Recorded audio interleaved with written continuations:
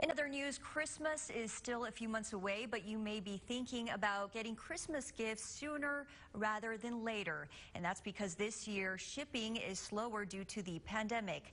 KTSM 9 News reporter Shelby Cap spoke to a local store owner who has advice for shoppers.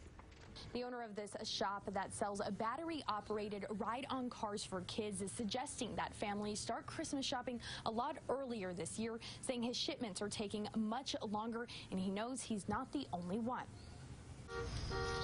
He wants one of these uh, motorized cars. Victoria Enriquez trying to plan ahead so she can get her son the gift he wants. So his birthday is two days after Christmas, and we know that there's a shortage right now in trying to order gifts, and not only for for Christmas, but for his birthday too. So we've kind of started looking into it uh, several months ahead of time. The owner of Lincoln's Mini Mall says getting shipments from overseas used to take between two to three months, and now from China to my door, we're still waiting on products that we ordered in January.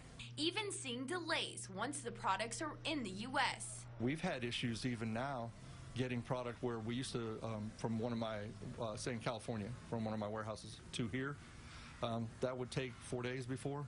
Sometimes I don't see it for a couple of weeks. Lincoln also anticipating prices to go up as we near the holidays. The prices have gone skyrocket on the transportation.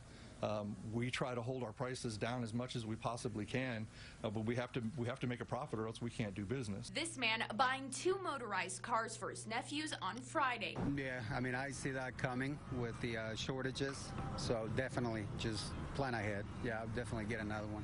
And the owner of Lincoln's Mini Mall here says he really did try to plan ahead and order a lot of inventory ahead of the holidays, but he still suggests doing layaways so that you don't come in December and not be able to get what you need.